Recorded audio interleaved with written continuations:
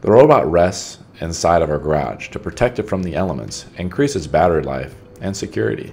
When the robot needs to rest, it goes and docks into the garage and connects into the black charging station. Our robot friend has a simple job or loop to complete to serve its function in cutting your lawn. It must leave the charging station, go out and mow your lawn, then return successfully back to the charging station to rest up and repeat it all over again.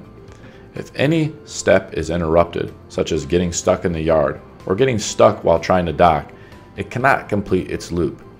The robot will display an error, like trapped or stuck, or upside down if you picked it up manually, and it will automatically power down, if not redocked successfully. The robot must be reset correctly or docked correctly to start its loop so it can mow your lawn successfully as programmed.